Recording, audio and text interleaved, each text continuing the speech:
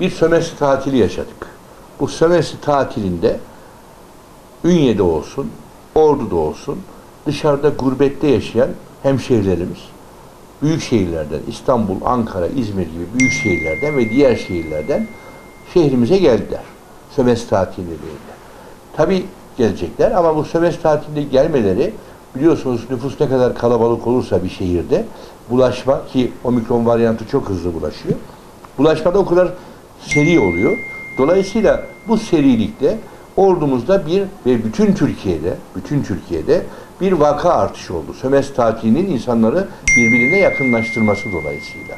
Sonuçta bir vaka artışını biz bekliyorduk zaten. Sömestr tatilinden 15 gün sonra bir vaka artışıyla karşılaştık.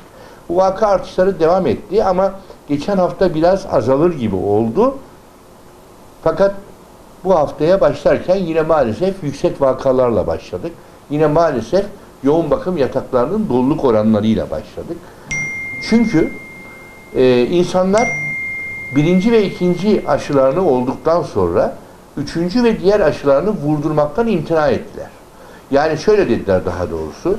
Ben birinci doz Sinovac'ı yaptırdım, ikinci doz Sinovac'ı yaptırdım.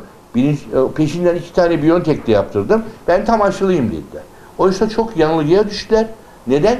Çünkü o aşıların, daha doğrusu her aşının insanı koruyacağı bir miyat var. İnsanı koruyacağı bir zaman dilimi var.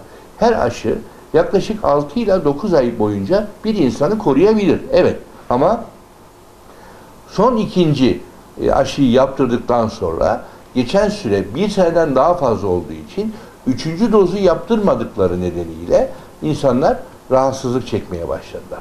Ve şu anda şu anda klinikte yatan hastaların, yoğun bakımda yatan hastaların neredeyse tamamı ya üçüncü doz aşılarını yaptırmayanlar ya da eksik aşılı olanlar ya da hiç aşı yaptırmayanlar. Burada insanlara büyük iş düşüyor.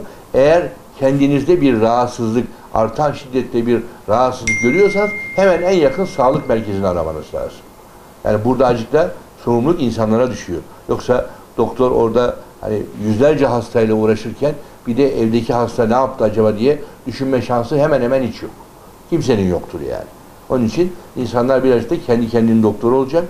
Kendisinde bir artan rahatsızlık olduğunda hemen en yakın sağlık kuruluşuna bunu bildirecek.